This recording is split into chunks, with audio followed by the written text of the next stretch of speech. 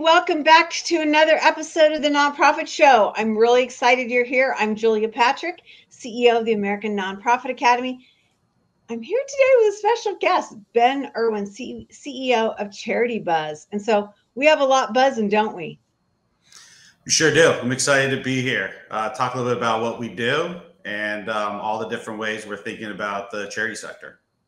You know, Ben, I love your whole premise, and I can't wait to get into it because you're going to talk to us about two different things, and that is is that the pie, the whole pie has changed in the nonprofit sector, and what we're looking at and what we can get in terms of our own piece of that pie is shifting and changing. And I think that we need to have a really deep discussion about that because not everybody understands that we're hearing things that make us a little uncomfortable and yet it's hard to understand what it looks like across the landscape of the nonprofit sector. Another thing that we have to talk about are our amazing presenting sponsors, and they include Bloomerang, American Nonprofit Academy, Staffing Boutique, 180 Management Group, Fundraisers Friday, our new Friday episode, Your Part Time Controller, and Nonprofit Thought Leader. These are the folks that support the nonprofit show day in and day out. So we can have amazing conversations like we're going to have today with Ben Erwin. We also have amazing co hosts. I'm flying solo today, um, but we've been rolling them out over the last couple of months. They come from all over the country and they do amazing things in our sector. They're incredibly diverse, um, really exciting, intelligent people. And um, I hope you're you're enjoying getting to know them uh, as I am. Another person we want to get to know today is Ben Erwin, CEO of Charity Buzz, charitybuzz.com. Okay, you really create a lot of buzz in our nonprofit sector, Ben. Talk to us what about what Charity Buzz does.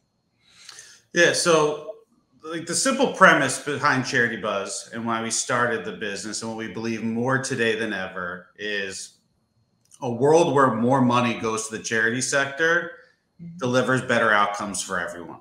So the way we do it is by trying to increase the size of the pie by offering up uh, customers, donors, philanthropists, really, really unique, in most cases, money can't buy experiences, all in support of terrific charitable organizations. So it's a destination to live out uh, your wildest dreams. And for the fundraiser, the charity, it's a platform to get your organization and fundraising in front of a brand new audience because Charity Buzz has spent the better part of 15 years cultivating what we believe is the world's most generous and incredible customer base. Hundreds of thousands of folks who are socially conscious, affluent, and they want to do really, really fun and unique stuff. And they love that a portion of it goes to support organizations working on really, really important causes. Okay, so talk to me about your latest. Um, I'm going to call it a get because that's what we use in production. Your latest get, your latest product. Um, I know that um, you emailed me something about it, and I was just, I was stunned. So, talk to us about this thing with none other than George Clooney. Yeah, so we are we're really excited. Uh, currently live is our second installment of A Good Evening with George Clooney to support his Foundation for Human Rights and Social Justice. Uh, it's an event that we host, that we put on. Uh, it's a series. We've done it with other luminaries. Uh, but George Clooney is the proverbial man of the hour. Yeah. So a lot of what we typically sell are experiences carved out of other events, award shows, premieres, movie sets. That's great. People love it, but we we don't control the experience as much as we do when we host and produce it ourselves. And that's where a good evening uh, came about. So through our different uh, platforms and channels, we're able to curate a really small and intimate, uh, intimate evening with incredible celebrities like George Clooney. Uh, this year it'll be in New York City. Next month it'll be at a private residence, and 16 to 18 probably uh, really lucky and generous individuals will have the chance to really spend time with him. It's not a meet and greet. It's not you know your assembly line of handshake photo. It is hours getting to know him, learning about his work and really just being able to um, have a real connection with an individual who otherwise I think most people would think would be impossible to do it with. Well, and dare I say, and I mentioned this in the green room, you know, for folks like that, it gives them an opportunity to hear what donors are thinking and saying, right? And that's really unique because to your point, it's not that cocktail hour meet and greet and then you're on to the next thing.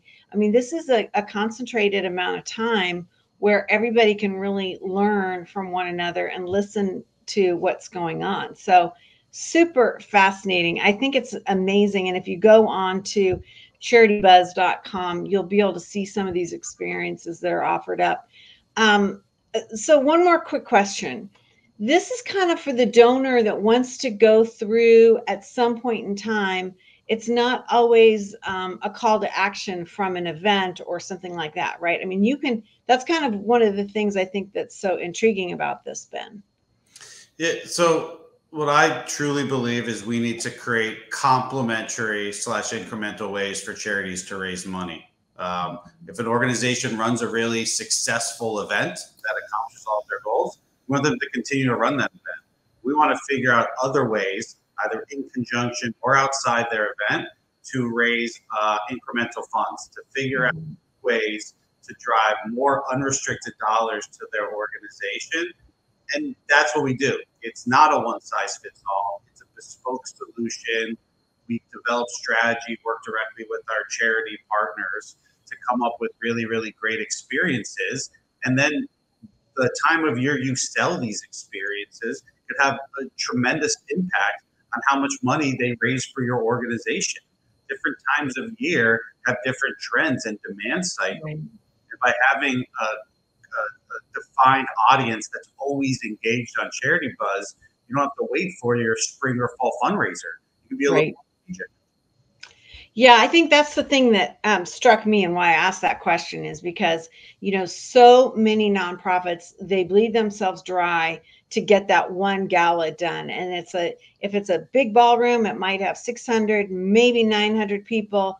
Um, and that's, you know, four hours that they kill themselves to get something over that period of time and then everything everybody else is trash they're exhausted they forget they move on right where some an engagement like this um, can can give you you know a lot of bang for the buck uh, if you will moving forward well let's talk about this this concept that you you know are thinking about and that is that the sector de- deserves more fundraising innovation and what does that look like to you yeah Great question. So I've spent the past 15, 16 years working at this intersection of technology, entertainment, commerce, and charity. Mm-hmm.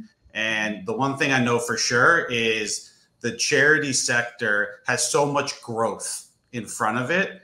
And I think it's incumbent of all of us to figure out ways to incentivize innovation, figure out ways for it to raise more money. Again, if we believe that if more money goes to the charity sector, and that equals positive outcomes for everyone, then we all are obligated to do it. The problem is fundraising has been stagnant for 50, 60 years. They started in the 70s measuring the percentage of GDP that was donated to charity in the United States. It has not significantly deviated from 2% since they started measuring it.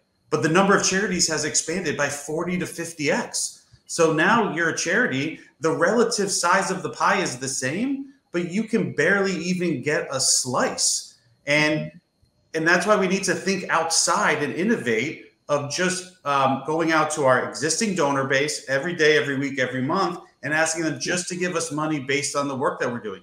We need to continue to do that, but we clearly need to do more if we want to get that 2% to grow and to adequately fund the charity sector. Right. I love that you bring this up because I feel like this time in our country, and, and it's it's really our country, but you know there there's a global uh, implication here.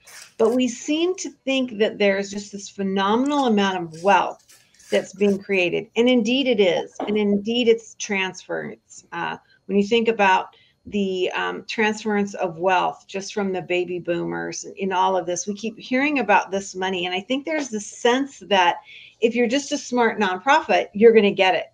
But you don't, we're not talking about what you said so brilliantly the pie. It's not the piece of the pie as much as what we need to step back and look at that pie and say, okay, what's going on here and where is this money and and how is it being navigated through we use here on the nonprofit show 1.8 million nonprofits registered in the us yep. That's a hell of a lot of action my friend. That's a lot of, and a lot of them are doing a lot of the similar things. So how do you how do you compare yourself to a competitor within the same sector or cause area as you? Mm-hmm. who deserves the money? Who has the bigger marketing budget? It's right it's a lot more similar to the for-profit sector than i think everybody realizes or wants to appreciate but it's time we do it because there's a lot of for-profit principles that could really mm-hmm. benefit the charity sector i think just society has to get behind it and say we want you to go solve this complex problem let's give you the resources mm-hmm. and the ability to go do it mm-hmm. Yeah, I I could not agree with you more, and, and I think there's like this this dirty side of. I mean, we even use different vocabulary. The lexicon of of nonprofit management is even different. You know, we don't want to say profit. We want to say revenue. We want to say, you know, different different words in the accounting side so that we don't appear to be for profit. And yet, if we don't garner that profit, we don't have that investment to make in our solutions, right? I mean, if, if we if we can't produce then we can't solve so really interesting. I mean you're you're definitely speaking my language here. Let's talk about this going back to the pie and and your your really interesting assessment about the donor um, landscape what the that funding landscape i should say it looks like.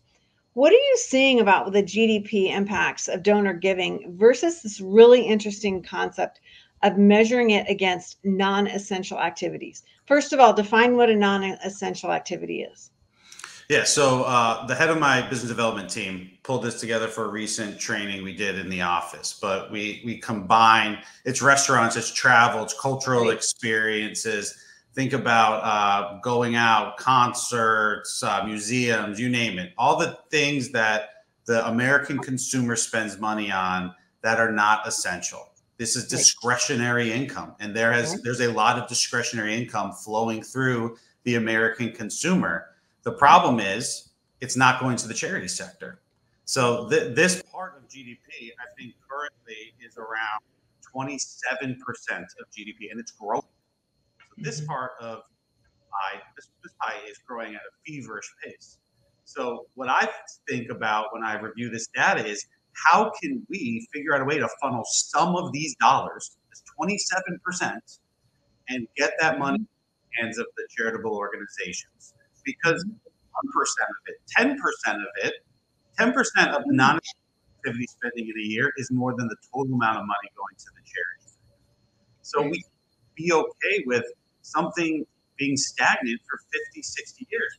We clearly figure out other ways to compel people to give and if we know they're spending more money over here, then let's shift some of our focus over here.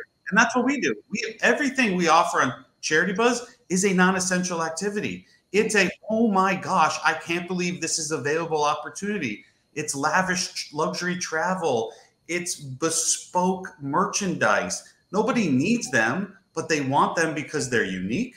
They want them maybe because if they don't buy them now, they may never get the chance to do it again. A money can't buy experience, and they want to support a charity. So we're the money that's being spent on Charity Buzz does not come out of the same pocket as a wealthy person's charitable fundraising for a given year. It's in addition to that budget. Mm-hmm. So there in our little world, we're increasing the pie amongst the people we touch. We just need a lot of other organizations and companies to to join and to be pushing this forward and that's how we're going to make some meaningful change. Mm-hmm.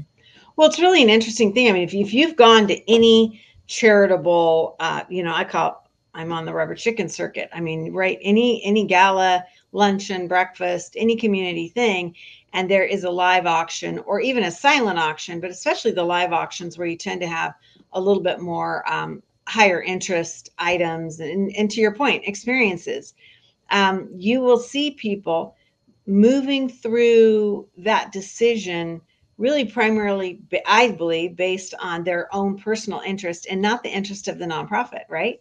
It, it's to your point. It's like wow i've always wanted to go you know stay in the virgin islands for a week in this you know lovely home. And oh by the way i can help this this nonprofit. So i i agree with you. I think there's a, um, a, a something to be said for how our um, stakeholders donors are viewing us and them viewing this activity. Um, it kind of gives them you know a permission. So let's dig in a little bit more to this value proposition. Um, and what has your research shown you and what are you seeing with how people feel about this? Um, what is the is there a, a, time of year where it's working more than others? Um, talk to us about what you are seeing especially as we've been locked down for you know several years on travel and some of these experiential pieces now it's opening back up. What's going on? And people want to experience everything. You know that that pent up demand that was suppressed for many years and then there was the strike in hollywood that kind of came right after people want to go do all of these amazing experiences they want to go to concerts to sporting events mm-hmm. but they want something exclusive and unique they don't want to just go and sit in the best seats they want to meet the artist they want something behind the mm-hmm. scenes and that's been our um, that's been our focus ever since we started the business so what, what we have found really successful is is we learned early on you can't treat any two charities the same. So there may be an organization that has an incredible live event with an incredible live auction. People go just to participate in the live auction and it raises a million dollars every night. Yep. We can't reproduce that online, but we're going to go see are there other things we can do outside of the live auction to mm-hmm. increase the amount of money that you raise. Mm-hmm. There may be other organizations who have such a small, homogenous group that attends their event that they're going out and they're procuring auction packages that they mm-hmm. know Wall yeah. Street executives in New York City are going to want in the month of October. But that limits the opportunities. They may have incredible opportunities and supporters that they can leverage amongst a global audience outside of their room that benefit from charity buzz. And that's where the light bulb goes off. It's them understanding that if they were to monetize some of these supporters that they didn't even think were exciting because they didn't have the market for it, and mm-hmm. that could create meaningful dollars for the organization, that's just they're sitting on a gold mine. And we do things like that all the time, whether it's we're working a lot with organizations in LA. So the mm-hmm. world of entertainment in Hollywood doesn't appeal to people in Los Angeles. They all they are all the people who run the studios and the management companies and all the entertainment businesses. Mm-hmm. So when you put that type of a set visit in front of them, it's, it's going to work. They're not excited about it. They'll still give because they care about the organization. Yeah. 10 to 20x when you put it on Charity Buzz because outside of that small little community, everyone mm-hmm. wants to go do it. They want to go visit the set of their favorite TV show. And, and that's the value. Like that's how we're leveraging technology. It's through distribution. It's not here is an online auction. Go promote it to all of your friends and existing supporters. That's great. Creates efficiency. It's seamless. But we want to go find people who otherwise would have not supported your organization, mm-hmm. bring them in through unique experiences and auction items, and then hopefully you forge a relationship with them after. When you thank them for that awesome trip they went on helped you accomplish X or mm-hmm. feed Y number of families and then build the relationship and think of it as a cultivation opportunity. So, walk me through how you engage with a nonprofit and what the process is because um, going onto your website, it's incredibly robust. The activities are um, phenomenally diverse. They are um, I would say regionally diverse as well. They're not just all stuck in you know major American cities. Um, so there's a lot of ways that folks can get to or participate in your in your offerings. Walk us through. Let's say I'm in Omaha, Nebraska, and I run a a small children's museum. How should I think about Charity Buzz? Yeah, so it all starts with a, a discovery session, uh, more or less an interview. So we have a really, really great approach 15 plus years of doing this, raising over half a billion dollars of unearthing who exists within your universe of supporters, board members, sponsors, mm-hmm. uh, pillars of the community. And then we go back and we uh, put together a huge brainstorming strategy of what these different folks could offer uh, that would be a really good fit for the site and when to offer it. Because uh, you made a really good point mm-hmm. before. We just went through a lockdown where everything changed. Well, yeah. we, are we're, we're nimble. We're, we're, capable of being nimble. So whether it's um, humongous external events that change the way the American consumer engages, or it's certain trends that kind of uh, peak and fall throughout certain parts of the year, we're able to take advantage of that in real time because all we're trying to do every single day of the year is figure out ways to increase fundraising for organizations through the sale of unique experiences and merchandise. So we'll work directly with the organization and go through all of it. And that may yield five auction lots, five private sales opportunities, five op- five experiences that will raise $20,000. And that's great. That's a great way to start. It may yield 50, that will raise a million. The point is, there's not a minimum number of items in order to work with us. We view ourselves as a year round platform that can work with organizations of every shape and size. And whether mm-hmm. it's the St. Jude and the LLSs of the world that are fundraising powerhouses, or it's a small volunteer only organization that needs another $10,000 to make sure they can keep their lights on and continue doing really important work. We've figured out ways to help all of them. And that's just based on our mission. That's who we are. Is it the best business practice to have this wide range of strategy and passion for everyone? Probably not, but it's who we are. So we we're no one's going to stop us from figuring out how to help this this small organization that maybe doesn't have seven figure potential because we're getting caught up in who they are, why they decide to start the organization, and we're going to figure out a way to help them. Mm-hmm. So, how do we? I mean, you brought this up, and, and I totally concur about the competitive nature and the competitive set.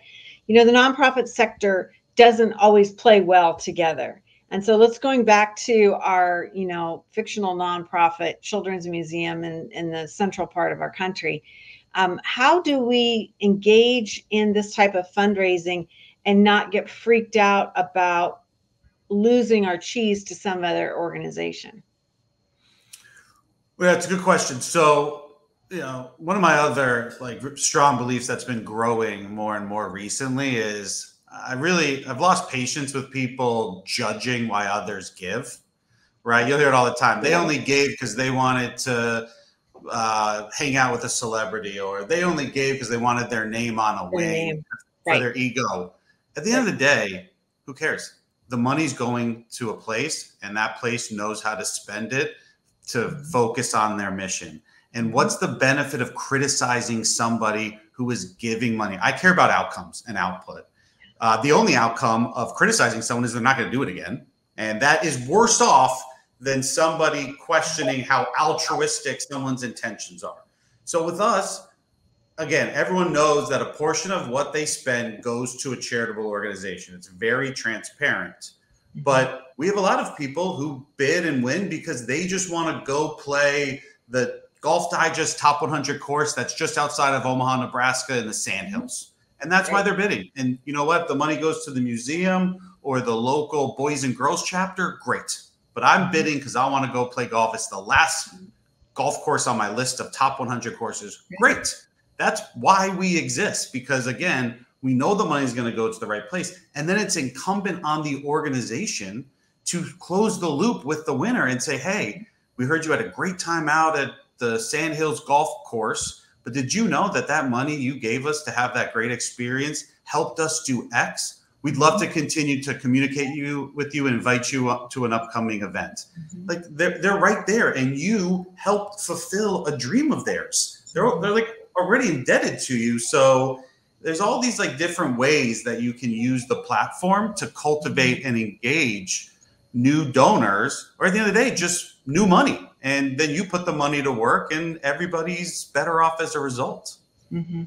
Well, and I also think Ben what's really interesting is one of the things that uh, you know we learned from the pandemic and then the digital nature of fundraising and, and communication is that we don't have to be hogtied to going back to our little museum in Omaha, just the folks in Omaha, right? We can open up our our vision to to getting support from folks all over. And that is a lot less perilous when you start looking at, you know, how you're going to fundraise and who you're going to connect with. And you started off the top of the show by just, you know, hammering the folks that are in your database and sticking with that. It, it's it's not going to help you grow if you can't look at this with the eye of cultivation.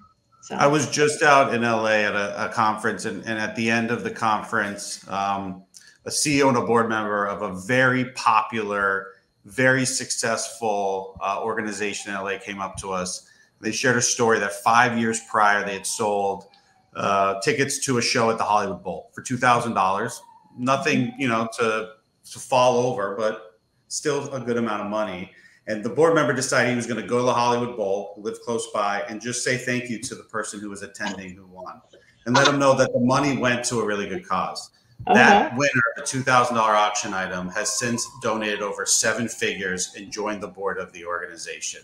So it's every opportunity is a good opportunity if yeah. you just focus. It's not going to happen 100 percent of the time, but you know what? It happens five percent of the time with that type of return it's worth it. So yeah, it's always about expand, and that's where innovation comes from. Is if we just continue to live within this little circle, we shouldn't expect any bigger results or returns.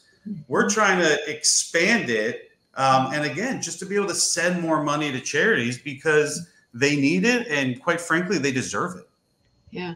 Well, this has been a fabulous conversation. I love uh, I love your energy and your vibe. I think uh, it, has been a really interesting way to um, kind of reframe what some of our opportunities are and how we can be thinking about things.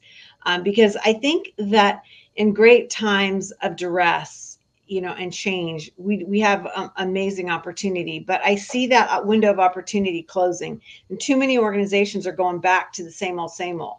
You know, that mentality of like, whew, okay, the lockdown's over. We can go back to the same old, you know, rubber chicken dinner.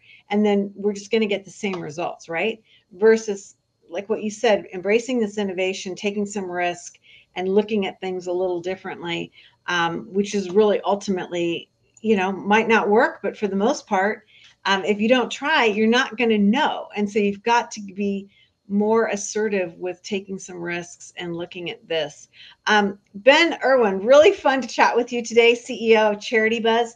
Check out charitybuzzbuzz.com and you will learn more about um, one of the, the um, items that they have on for auction, the, the uh, George Clooney piece for his foundation but just their approach and what they're doing and what this can look like. It's a fascinating way to look at fundraising in a new and different way um, that can really kind of pull you back and, and to Ben's point, look at the piece of the pie, look at the whole pie and not just the piece, right? What is that going to reflect um, when it comes to your fundraising and, and your approach and your point of entry? I think that's the other thing.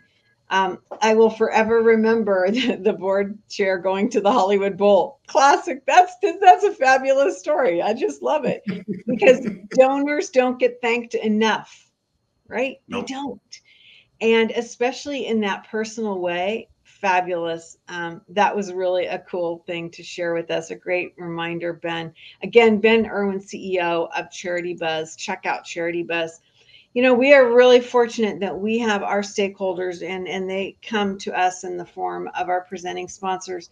They include bloomerang american nonprofit academy staffing boutique nonprofit thought leader your part-time controller fundraisers friday our new show on fridays and 180 management group. These are the folks that are with us day in and day out so we can have these great conversations. Um, ben you don't i don't know if you know this but at every show we have this mantra that we sign off with. We've done it for now. We're in our fifth year, 1100 shows. And it's so interesting to me because it it's very reminiscent of the sign behind you, which I believe says do good, live well, right? Yeah. Okay. So our mantra is this, and we'll sign off today as we do every day. And it goes like this to stay well so you can do well.